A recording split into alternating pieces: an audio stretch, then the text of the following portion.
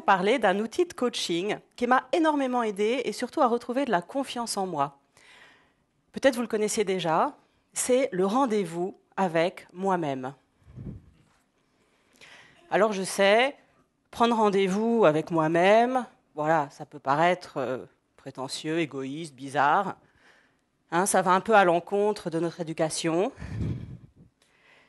Surtout pour les femmes, hein, on doit passer après les autres. Alors, voilà. Et en même temps, si je ne prends pas rendez-vous avec moi, une fois par semaine, eh ben dans la semaine, j'ai rendez-vous avec tout le monde. J'ai rendez-vous euh, avec ma famille, euh, mes proches, mes clients, et puis je n'ai pas rendez-vous avec moi. Donc, je note dans mon agenda rendez-vous avec moi-même. Et puis, je m'y tiens comme une priorité. Sinon, je ne le fais pas. Et c'est une priorité parce que voilà, je suis la personne la plus importante de ma vie. Oui? Ce rendez-vous euh, m'a été transmis par ma première coach. Euh, une coach euh, en Californie. J'étais allée la voir parce que j'étais vraiment perdue professionnellement. La société Internet que j'avais créée avait explosé avec la bulle financière de 2000. Alors, côté perso, je venais de faire un enfant, donc il y avait plein de trucs super, et en même temps, le bouleversement de la maternité. Donc, je ne savais pas du tout ce que j'allais faire professionnellement. Je, je, pensais que j'avais plus de valeur professionnelle après, après cet échec. Et donc, je suis allée voir une coach. Et euh, elle m'a écoutée. Et puis, elle m'a dit, ben voilà, euh, je vous propose de prendre rendez-vous avec vous-même, d'acheter un beau cahier et de passer une heure par semaine dans un endroit que vous aimez bien. Alors du coup, bah, je vais parfois dans un jardin ou dans un café. Quand j'ai envie d'avoir des, idées de luxe, je vais dans un bar d'un hôtel de luxe ou bien euh, sur un coin de table dans la cuisine.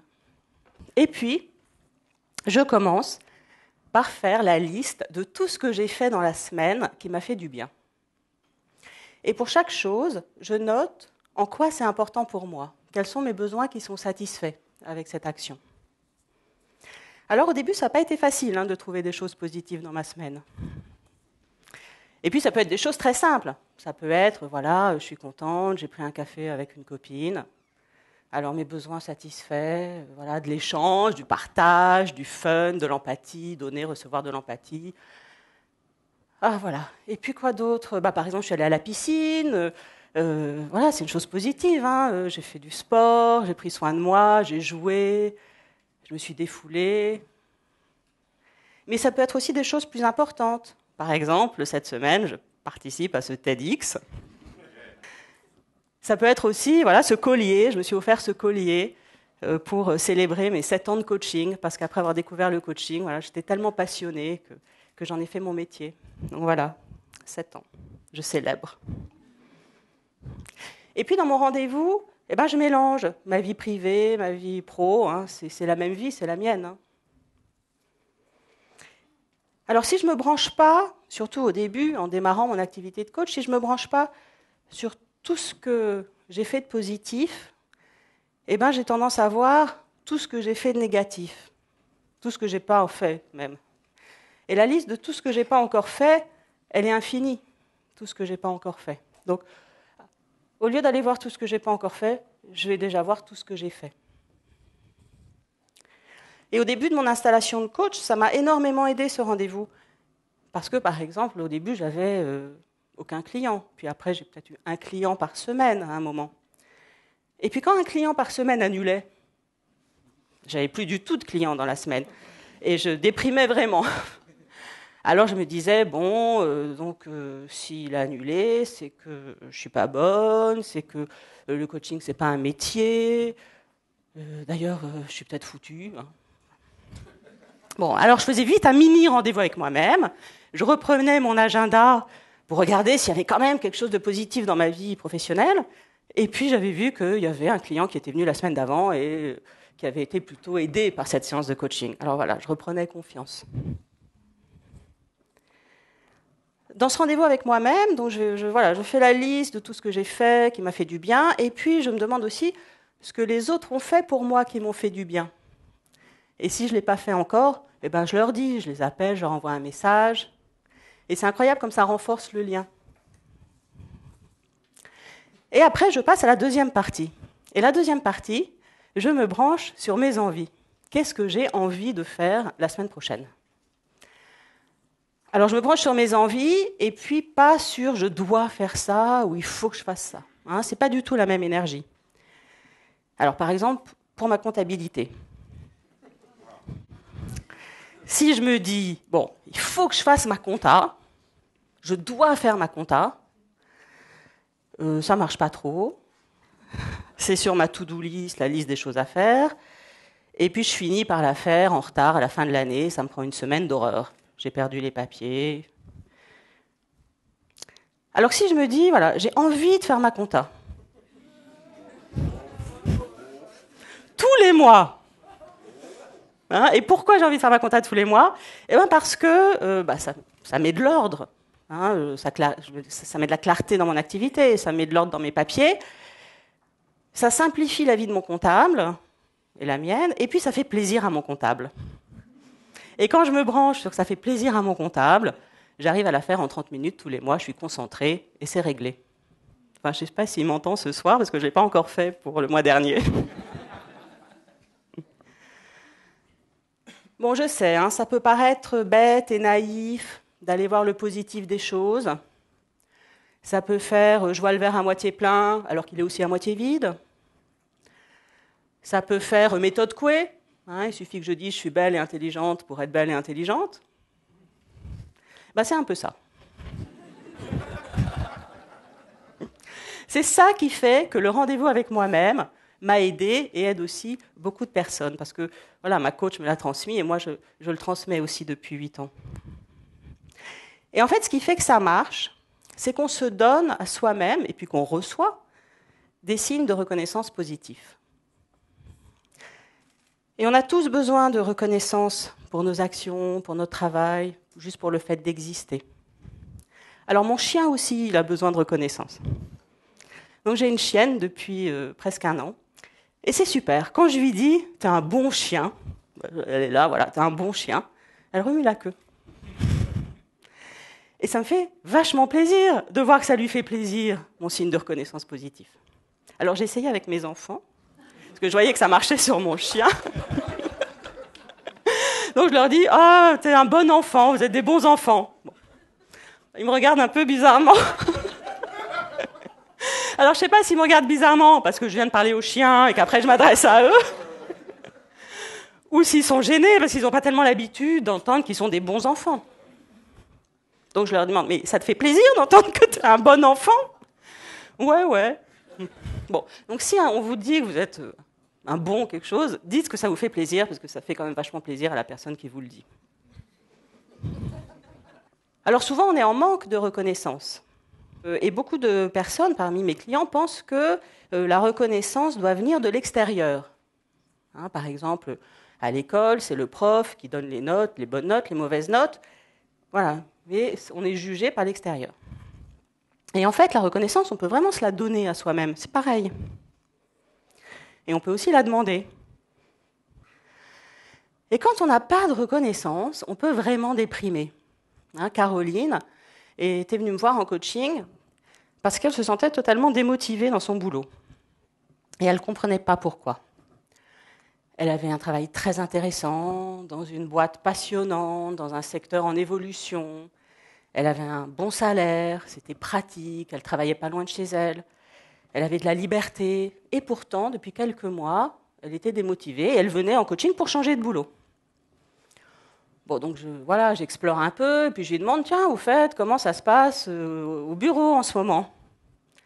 Et alors elle me dit, oh, ben, c'est très simple, il ne se passe rien.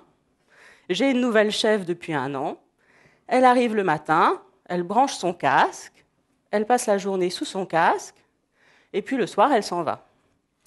Et parfois, elle me dit même pas bonjour. Il y a des jours on n'échange même pas un mot. Bon, ben voilà, hein, c'est simple. Si elle se sent démotivée, c'est parce qu'elle n'a la reconnaissance de sa supérieure. Donc elle a vu comment elle pouvait aller prendre rendez-vous, pas avec elle, mais avec sa chef, pour lui dire, voilà, j'ai besoin de feedback, j'ai besoin de, reconnaissance, de savoir ce que vous pensez de, mon travail. Et depuis, ben, rendez-vous une heure par semaine pour faire le point sur tout ce qu'elle a fait dans la semaine et pour qu'elles voient toutes les deux les objectifs de la semaine à venir. Donc elle a retrouvé de la motivation. C'est vrai qu'il y a des personnes comme la chef de Caroline qui pensent que s'ils donnent des signes de reconnaissance positifs à leurs équipes, eh ben, elles vont arrêter de travailler. Mais en fait, c'est le contraire. C'est si on n'en donne pas qu'on arrête de travailler. Moi, ça me fait du bien de me donner à moi euh, des signes de reconnaissance positifs. D'abord parce que je revis la situation. Alors, j'ai deux fois plus de plaisir. Une fois en vivant l'action, puis une autre fois en m'en souvenant. Et puis aussi, c'est pratique parce que quand, euh, voilà, dans un, réseau professionnel, on me demande alors comment ça va en ce moment le travail, voilà, je réponds pas, oh, je suis débordée, j'ai plus de temps, ou bien, ouais, c'est très très calme en ce moment eh ben, je sors euh, une ou deux actions de mon rendez-vous avec moi-même et je dis Ah, ça va super bien, je participe à un TEDx cette semaine. Et donc, je transmets du positif. Alors, je pense à Catherine, qui était venue me voir en, coaching parce que, euh, voilà, elle était euh, entrepreneuse. Elle avait créé un site internet un an auparavant. Et elle vient en coaching pour être encore plus performante. Alors pourtant, moi, je pensais qu'elle était déjà super performante. Hein. Elle travaillait 12 heures par jour. Elle se remettait au boulot après avoir couché ses enfants. Elle n'avait pas pris de vacances depuis un an, elle était plutôt fatiguée.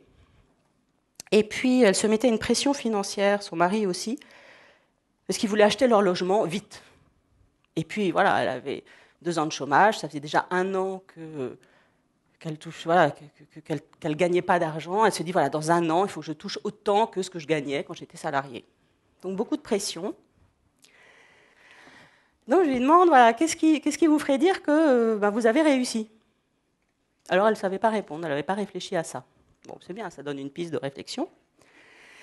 Et puis, euh, est-ce qu'elle peut parler d'argent euh, voilà, avec son compagnon pour qu'ils fassent leur compte et, regarder si elle peut se donner un peu plus de temps pour, pour réussir financièrement? Parce que ça prend du temps de démarrer une nouvelle activité. Et je lui propose de prendre rendez-vous avec elle-même. Et donc, elle revient le mois suivant, et puis déjà, elle est transformée. Alors, ce n'est pas un miracle, ça ne marche pas avec tout le monde, mais avec elle, ça a marché. Elle a adapté son rendez-vous avec elle-même et elle le fait 10 minutes par jour. Donc le soir, avant de boucler, elle regarde tout ce qu'elle a fait dans la journée et elle se demande ce qu'elle a envie de faire demain. Donc elle fait plus de listes de choses à faire, elle fait plus des to-do listes super longues et elle se branche sur ses envies. Et du coup, bah, elle a retrouvé de la disponibilité et puis surtout elle a retrouvé le moral. Et puis elle avait pu parler d'argent avec son mari. Et euh, en fait, lui avait compris qu'il lui mettait euh, vachement de pression parce que euh, lui aussi avait envie de quitter son, son, travail et de se mettre à son compte. Et qu'elle, elle faisait quelque chose qui ne se permettait pas de faire. Donc il était un peu frustré en fait. Donc en en parlant, ils ont pu dire, bah voilà, on achètera notre logement plus tard. Voilà, et aujourd'hui, ben, le site de Catherine est parmi les, les meilleurs de, sa catégorie et elle arrive à réussir. Hein, parce que si elle a trop de pression, quand il y a trop de pression, ben on ne peut plus réussir. Alors ce rendez-vous avec moi-même, voilà, ça m'a, je l'ai fait pendant des années. Ça m'a vraiment aidé euh, pour démarrer mon activité. Aujourd'hui, je l'ai intégré, j'ai l'impression que je le fais inconsciemment. Et quand même, je fais une fois par an un méga grand rendez-vous avec moi-même. Et dans ce méga grand rendez-vous, voilà, je regarde le chemin accompli dans l'année, et puis je me fixe des objectifs. Qu'est-ce que j'ai envie de faire dans l'année qui vient, dans les 3 à 5 ans, ou à plus long terme, 10, 15 ans. Voilà, ça me fait du bien d'avoir des objectifs. Ça ne veut pas dire que je vais absolument faire ce que je décide maintenant. Mais en tout cas, l'effet que ça a aussi, c'est que ça, ça me donne du temps. Avant, je voulais tout faire dans l'année. Et maintenant, je me dis, mais attends, voilà, si je fais ça en 5 ans, c'est déjà super. Donc j'ai moins de pression. Et donc je vis mieux. Voilà, je rêve d'un monde où chacun, à la maison, au travail, à l'école, pourrait avoir autant de signes de reconnaissance positifs dont il a besoin. Bon, en attendant que ça arrive, parce que je suis très optimiste sur le développement du développement personnel, en attendant que ça arrive, voilà, on peut se donner nous-mêmes tous les signes de reconnaissance dont on a besoin. Merci. J'ai de la reconnaissance, c'est fabuleux Merci.